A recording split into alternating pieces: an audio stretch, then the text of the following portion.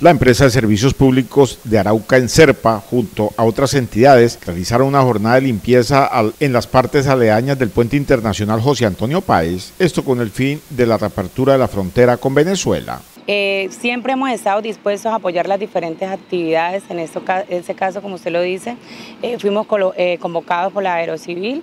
la idea es, también nació de nuestro coordinador de, aseo, que siempre está al tanto y preso a, colaborar a todas estas actividades, al cual siempre ratifico mis agradecimientos, es que como bien saben se va a abrir la, frontera, y como podemos observar hay mucho riesgo por el, el, tema de los árboles. Entonces la idea pueden mirar la diferencia de cómo estaba anteriormente y cómo está quedando ahorita. Estamos con el, eh, también nos fuimos citados por el gobierno municipal que ha estado atento también en, en todas estas situaciones. La gerente de la empresa de servicios públicos Arauca en Serpa, Glaisa Heredia, dio a conocer las entidades que se vincularon a esta jornada de aseo que se realizó en la mañana de hoy.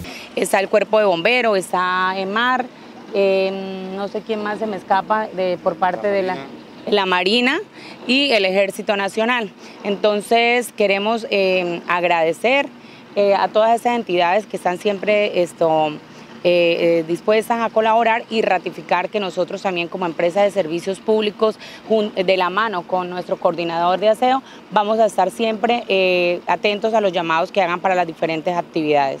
La funcionaria manifestó que con la limpieza que se realizó se benefician todas las personas que transitan diariamente por la vía que está ubicada debajo del puente internacional. Sí, sí, sí, claro que sí. Entonces la idea es que con eso no solamente esto, eh, con eso nos vamos a beneficiar todos, los que tengamos que de pronto en algún momento transitar por eso, se va, vemos que ahorita eh, se han presentado problemas de, con algunos árboles que se han caído, entonces la idea es tratar de eh, esto, evitar que esto siga sucediendo y también había, aparte los árboles, había eh, mucho monte, pues, pues ya tenemos varios años de que por ese sector poco se transitaba. También se buscará realizar una jornada de aseo hasta la redoma del monumento del Bicentenario en la doble calzada Juan Isidro Daboín. La idea es llevarlas a donde más, más se pueda. Sí, me imagino que si no se alcanza a llevar hasta allá, eh, posteriormente se irá a organizar otra jornada hasta que pues esta vía quede totalmente eh, despejada y en menos eh, peligro de riesgo. Este sector del municipio de Arauca se tendrá que mantener en buenas condiciones debido a la reapertura de la frontera con Venezuela.